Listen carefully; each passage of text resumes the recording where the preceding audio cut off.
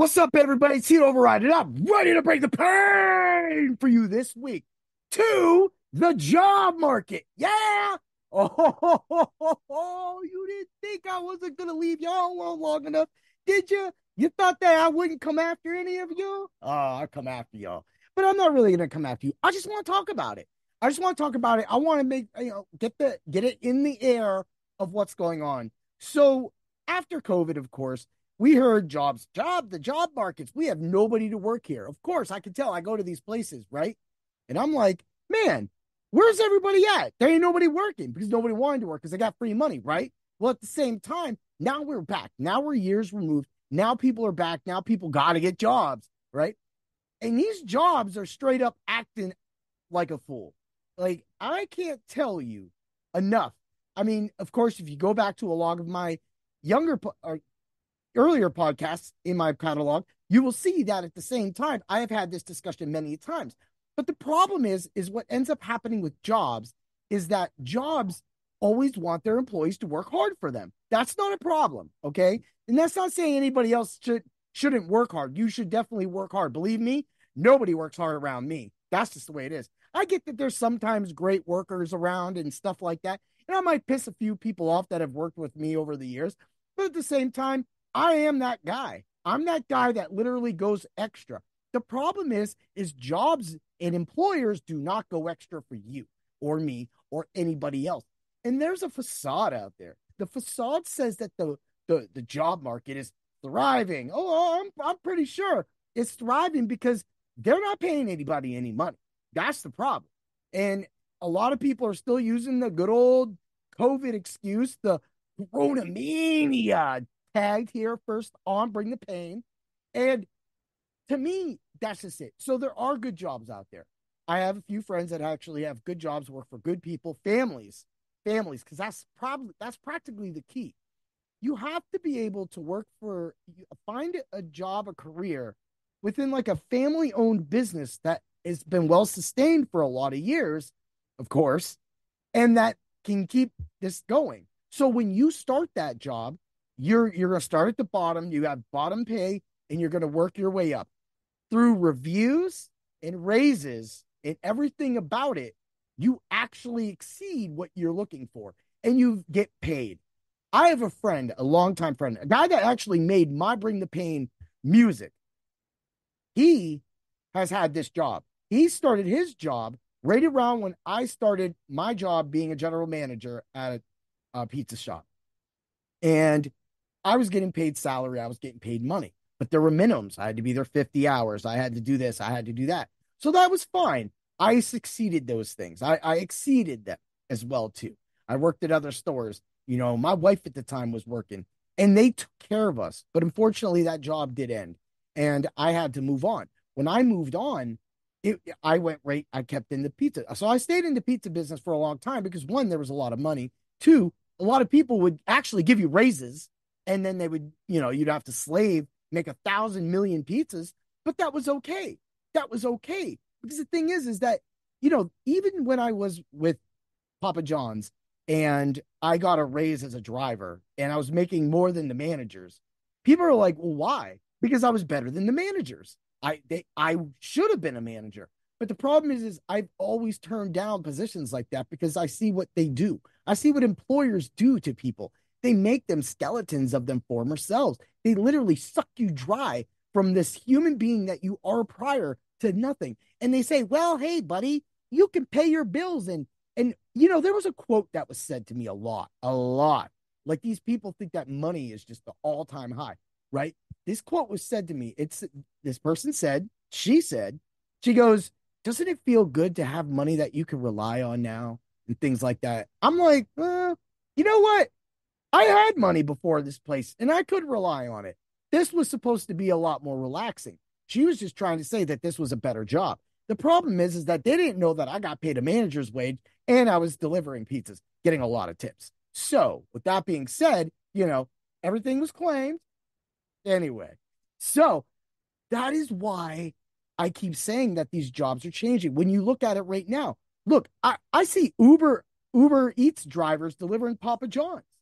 So now uh, Papa John's, Pizza Hut, all these other places, they're not even, that's why they don't want to pay their drivers. And that's why they're backing a lot of these businesses like Uber. So they don't have to pay that, that driver. Because while I was at one of those, while I was at Papa John's, they were sued in a class action lawsuit and lost. And the drivers got $3,000 each. And matter of fact, they scared a lot of drivers into not getting that money. Do you see the theme of this podcast right now? I am saying that this shenanigans has been going on for way too long. And I'm sick and tired of it. You give an employee an interview, but I think the employers should be interviewed. I think the employers should also, in a formal setting, this should be happening like with a mentor in the middle. Not either side cannot choose that person. That is how interviews should start happening for good jobs going in the future. And that would provide and it would help with a lot of misconceptions of jobs. You know, when you get hired at a job and they say, Hey, this is the job, and you're like, Oh, this is cake. So you start doing the job, right? And next thing you know, a bunch of other stuff, like always, gets stumped on you. And that's fine. There's no reason not to try to help everybody out. But when more and more gets dumped on you, and you look at everybody else sitting around doing nothing and nothing's getting dropped on them, why? Why? Why? Oh, because you're trustworthy. So if I'm trustworthy, then why don't you show it in my wage? But they don't. They don't show it in anybody's wage. It doesn't matter who you are or what you walk of life you come from. They're not going to give you a raise. They're going to give you, they'll give you a good benefit, or they'll say, hey, we offer Aflac. What's Aflac? It's just more money you're going to lose from your check. And by the end of the day, you're literally paying out 50 bucks a month. That's now become an electric, well, an old school electric bill for a lot of people. And at the same time, now you have another bill because you have that, you, you have Aflac, and then you have to pay for your insurance. So now you have two bills. You see what I'm saying is that they're not helping. And back in the day, when I was a general manager getting paid a salary's wage, my insurance was paid for 100%. That's the way it should have been done. That way you could keep yourself healthy for that business, right? No. Now these businesses are having problems keeping their employees healthy because there's nobody protecting them and they don't want to go out of their own pocket to help their employee, right? So, and this has no no if ands or buts or any trends towards any of my jobs or anything like that. I'm I'm not a disgruntled employee. I am definitely well taken care of. However, there are flaws at my job, and those flaws are have been mentioned in this podcast throughout. And that's the same flaw that comes with every job, unfortunately. But my problem is is why when does it become enough when when does the when do the employers go wait a minute. We're, we're we have a structure. We're supposed to stick to it but then they don't stick to that structure and they change things and they change things on the fly. You know that's exactly what happened when when covid hit. When covid hit everybody had to change. I didn't want to change of course like most people and i couldn't change. I couldn't wear a mask. There's just problems breathing problems nose problems. And my doctor goes, Rob, I cannot, I can't say this right now. They're telling us do not write that excuse. And I looked at him and I was like, well, why? And he was like, honest, it's because it's that way. And that's all he could say. He didn't, he actually moved out of the state only, I'd say a few months later. He moved into another state because he didn't like it here in Pennsylvania. And that was him. That was a movie. I'm sure he's making money. He was a great dude. He was a great doctor. He was a doctor for like 20 years, man. He he did he was just an awesome guy but he couldn't do it. And that's because they were scared at, of the government, of, of course, the enforcers, and of course, of people losing their job. And because their jobs, because their employers were going to bend over backwards for all of their all of their customers or their accounts to make sure that they're happy. And that's what happened. I watched great accounts die during COVID. And I was like, all right, well, that's cool.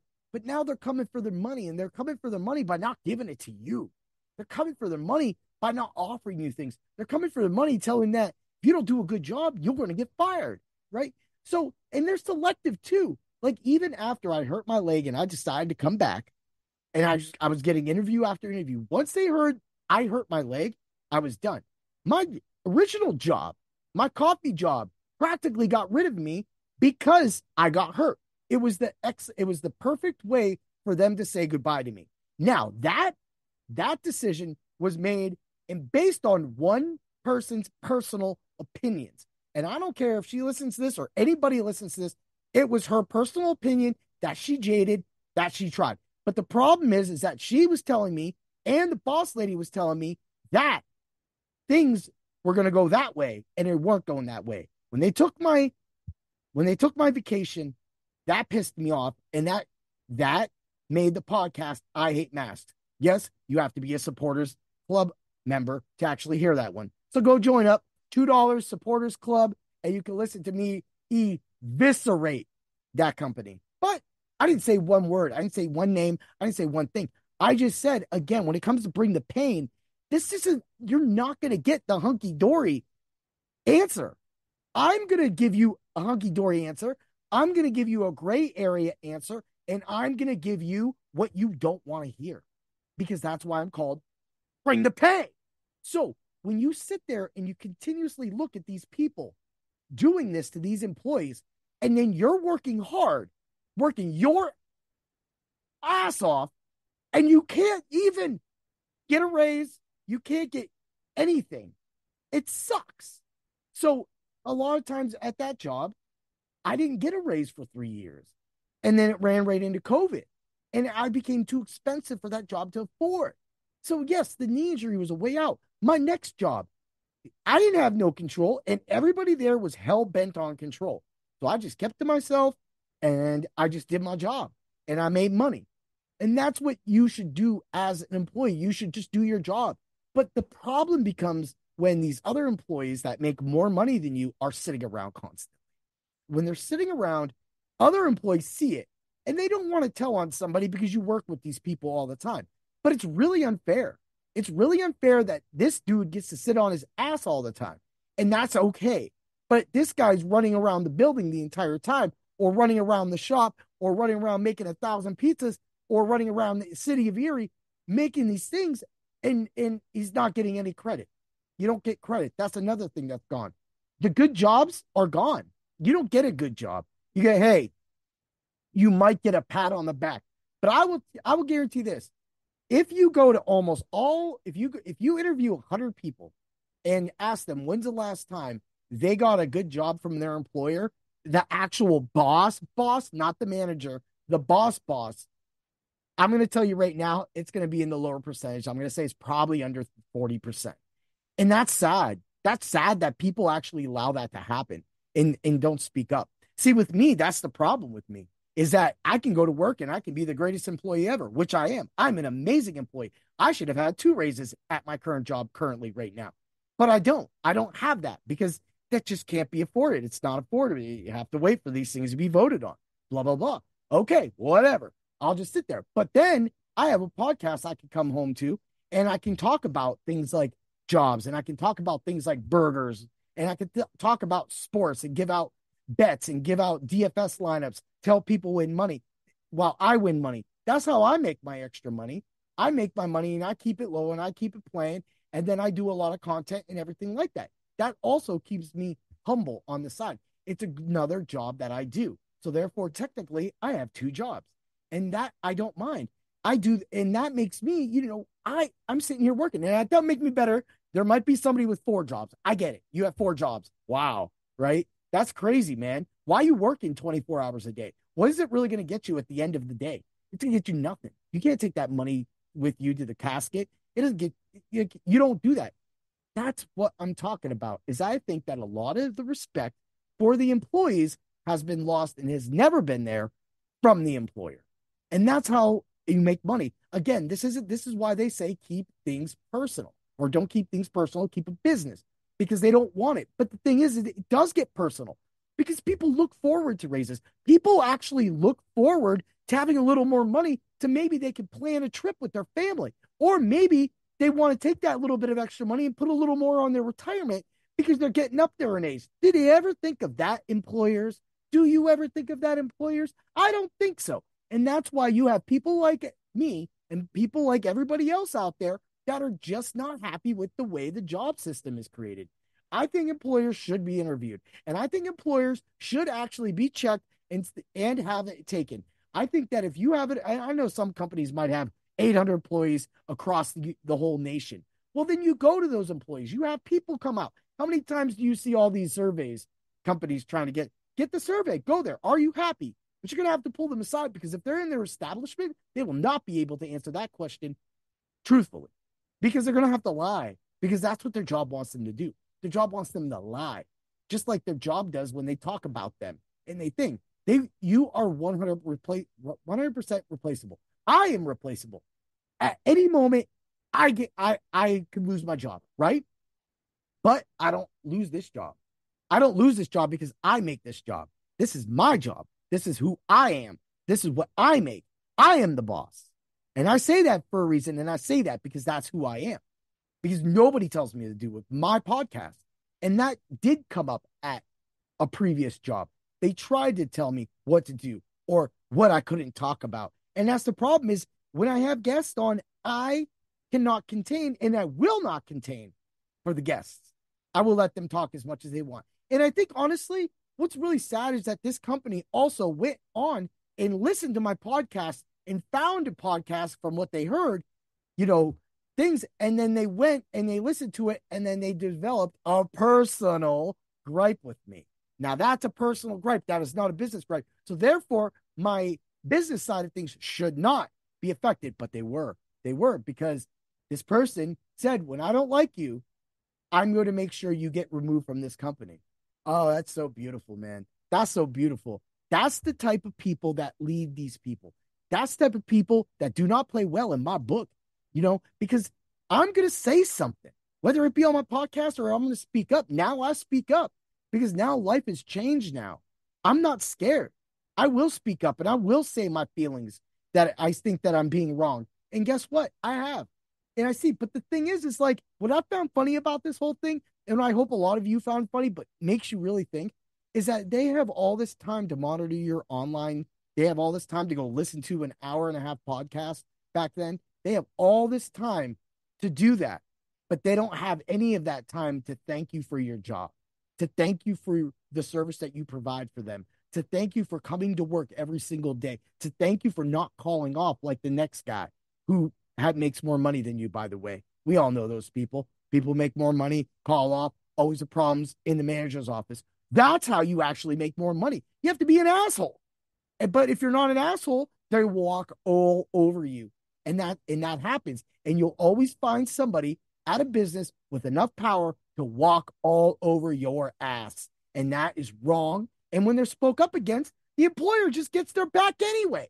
So that's why people don't speak up against these people. That's why the employers are just employers now. Nobody cares about what you make your bottom dollar. Nobody cares because you're all you're all shady. We all know you're shady. You wouldn't be in the business in, in in this business if you weren't shady, right?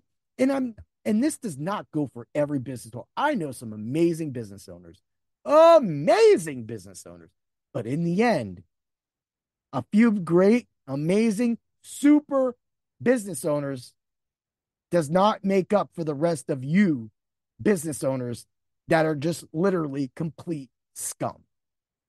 Have a great day, everybody. And always remember to bring the rage. Woo!